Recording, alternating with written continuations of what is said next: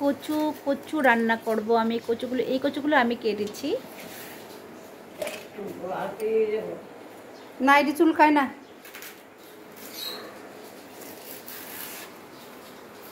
দাদা কামড়াটা দেই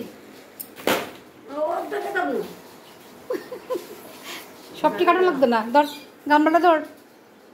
নে। আরে, মনি আজকে আবার মেক্সিটা ফিরেছো আমি তো দেখছি না। আমি খেয়াল করছি না তো। মনি আজকে আমার মেক্সি পরে এসছে, নাইটি পরে এসছে। দেখো, ওইদিকে এই কচু রান্না করব আর কচু কাটতেছে এখন মনি, আর আমি এইদিকে কাটছি কচু। তো এখন মনিরে দিছি, মনি জানি কদ্দুর কাটতে পারব। মনি কিন্তু কিছু কাজ করতে পারে না, মনি গড় মুসা কিনতে পারো গড় মুসা আর বাসন ধোয়া পারে। সেদিন সাজনা কাটটা দিছিল। আজকে কচু, আমি এটি কাটছি। ভাজা, মাছের মাথা ভাজা করে ফেলেছি। কতগুলি মাথা দেখতে পেয়েছ? প্রচুর মাথা সবগুলো দিয়ে কচু রান্না করব। আর রসুনটা একটু গরম জলে ভিজিয়ে রেখেছি। রসুন হয়তো আরও লাগতে পারে। দেখো মনির কাটা শেষ। মনির কাটা শেষ। এখানে এক গামলা হয়েছে দেখছ? এক গামলা পুরা আর এটি এক খাতে মো এটি নিরামিষ খাওয়ান যাইব। ঠিক না মনে? নিরামিষে খাইতে হইব। বাদাম হ্যাঁ বাদাম বাদাম ভাজা এটি করতে পারম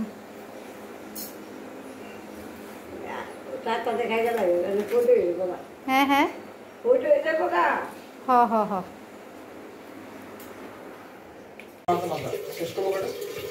মা মাছে মাথা তো সব টিলে হইতে যাবে কত বাবা?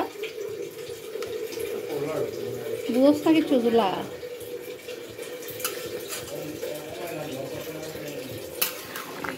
আমার ছেলে বলছে এত মাছের মাথা কেন? কীভাবে রান্না করব।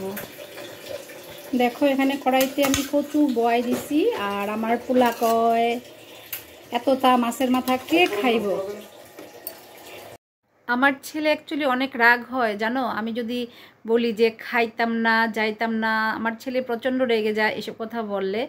বলে তুমি কেন ভিডিওতে এমন কথা বলবে? আর বলো না গো। এই কচুতে আমি বাঙ্গাল ভাষাই বলেছিলাম, কিন্তু ছেলের জন্য আমি আর কিছু বলতে পারলাম না। চুপ হয়ে গেছি। তো দেখতে পাচ্ছ, এদিকে কচু আমার সেদ্ধ হয়ে গেছে। তো এগুলিকে আমি স্ট্রেনার দিয়ে সুন্দর করে ছেঁকে নিচ্ছি। আগে কিন্তু কচুগুলো খুব ভালো করে ধুতে হবে। তো আমি ভালো করে বড় একটা বালতিতে কিন্তু এগুলো ধুয়েছি, খুব সুন্দর করে ধুয়েছি। ধুয়ে তারপর একটা দেখো কত বড় ইয়াব, বড় কড়াইতে কিন্তু এটা দেখো বসিয়ে দিয়েছি। তো বসিয়ে সেদ্ধ করে সেদ্ধ করা মোটামুটি একটা সেদ্ধ করেছি। যেহেতু এগুলো এত গলা ধরে না মানে গলা চুলকায় না আর কি। তো তাই এগুলো সামান্য আমি একটু সেদ্ধ করেছি, তোমরা দেখতে পাচ্ছ। বেশি সেদ্ধ আমি করিনি। তো চলো কচুগুলো আমি ছেঁকে নেই। এদিকে দেখতে পাচ্ছ কত রসুন। আমি আমি একটু সামান্য গরম জলে আমি ভিজিয়ে রেখেছি, কারণ তাহলে রসুনগুলো খুলতে অনেক সুবিধা হবে। তোমরাও এরকম করবে, রসুনগুলো গরম জলে ভিজিয়ে রাখবে, তাহলে এগুলি খুলতে খুব সুবিধা হয়। আর পেঁয়াজের খোসাও ভিজিয়ে রাখবে, পেঁয়াজটাও ভিজিয়ে রাখবে, তাহলে পেঁয়াজের খোসা এদিক ওদিক যাবে না। দেখো, এদিকে মশলা নিয়ে নিয়েছি, জিরে, ধনে, আদা, পেঁয়াজ, একটা পেঁয়াজ দিয়েছি এটার মধ্যে, দেখো। এবার জিরে গুঁড়ো দিচ্ছি, জিরে গুঁড়ো, এটা সরি এটা ধনে গুঁড়ো দিচ্ছি, আর এখানে দিয়ে দেব আর একটু জিরে গুঁড়োও আমি দিয়ে দিয়েছি, তারপরে গোলমরিচ, দেখো রসুন সবগুলো আমার ছেলে, দেখো, সবগুলো আমার ছেলেই কিন্তু এগুলো খুলে দিয়েছে আর পেঁয়াজগুলো আমি খুলেছি, পাপড়ির মতো আর এই সবগুলো রসুন আমার ছেলে খুব সুন্দর করে খোসা ছাড়িয়ে দিয়েছে, দেখতেই পাচ্ছ। তো এখানে তিনটে পেঁয়াজ নিয়েছি। তো, যাই হোক, এখানে প্যানে আমি তেল বসিয়ে দিয়েছি। তেলের মধ্যে আমি দিয়ে দিলাম গোটা শুকনো লঙ্কা ফোড়ন। আর এদিকে আমার মশলাও দেখো পুরো পেস্ট হয়ে গেছে। এদিকে নিয়ে নিয়েছি পাঁচ ফোড়ন মানে চার ফোড়ন। আর এদিকে আমার হাজব্যান্ড আমাকে লস্যি এনে দিয়েছে। লস্যি খাওয়ার জন্য বলে যে, লস্যি খাওয়া প্রচণ্ড গরম, কী আর করব? তো লস্যিটা খাব। খেতে খেতে আমি রান্না করছি। লস্যিটা খেয়ে নিলাম। এদিকে আমি পাঁচ ফোড়ন দিয়ে দিয়েছি। পাঁচ ফোড়ন দেখো এখানে দিয়ে দিয়েছি। পাঁচ ফোড়ন বলতে জিরে, ধন, জিরে, মেথি মিষ্টি জিরা আর এখানে জানি আরেকটা কী দিয়ে দিয়েছি কালো জিরে হয়তো দিয়েছি। হুম, কালো জিরে।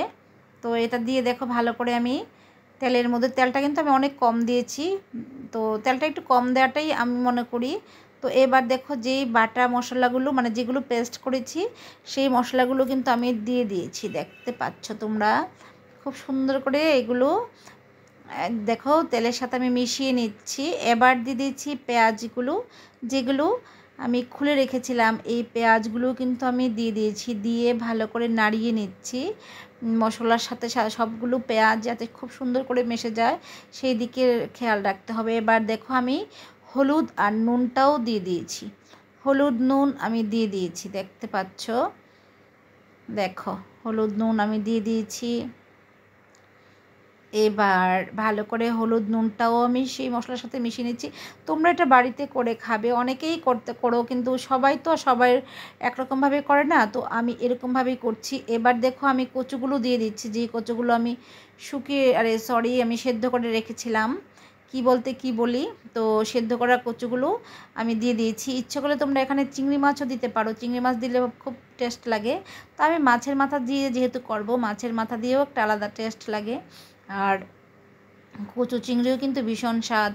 কচুর দিয়ে মাছের মাথাও খুব টেস্টি বা নিরামিষ কচুও ভালো লাগে, বাদাম টাদাম ভেজে নারকল দিয়ে, এটাও কিন্তু আলাদা টেস্ট দেখো, এখানে আমি আরেকটু এখানে আমি লবণ দিয়ে দিয়েছি।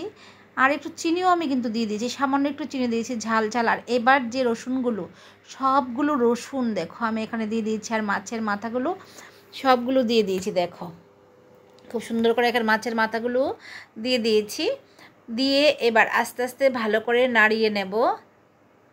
দেখো, মাছের মাথাগুলো এবার সবজির সাথে মানে কচুর সাথে মাছের মাথাগুলো আমি মিশিয়ে নেব। না হলে ভালো লাগবে না। কিছু কিছু ভেঙেও দেব আর কিছু কিছু মিশিয়ে দেব।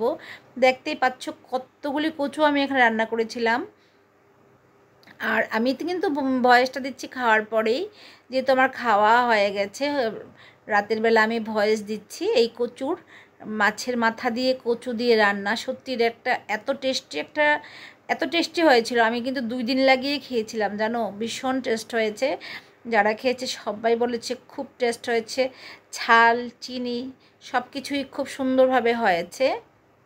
তো দেখতে পাচ্ছ এখানে, আমি যখন এটা দেখেছি তখন কিন্তু অলরেডি আমি ভাত খেয়ে ফেলেছি। দেখো, এবার আমি দেখো। পাচ্ছ? তোমরা আমি ভাতটা নিয়ে নিয়েছি। কারণ কচুটা এত টেস্ট হয়েছে, আমি আর লোভ সামলাতে পারছিলাম না। ভাত নিয়ে নিয়েছি, ভাত একটু কমই নিয়ে নিয়েছি। আর এদিকে দেখো আমার এই মাহির মা আমাকে একটা ডালের বড়া একটা সবজি দিয়েছে। এদিকে মাছ ভাজাও আছে, অনেক কিছু রান্না। এদিকে জানি কি? তো অনেক কিছুই রান্না আছে, ডাল আছে। তো যাই হোক তো কেমন লেগেছে? অবশ্যই জানাবে রেসিপিটা তাহলে আজকের মতো এখানেই বিদায় নিচ্ছি। সবাই ভালো থেকো, সুস্থ থেকো। আর কি বলব, আমার ভিডিওগুলো দেখো তোমরা।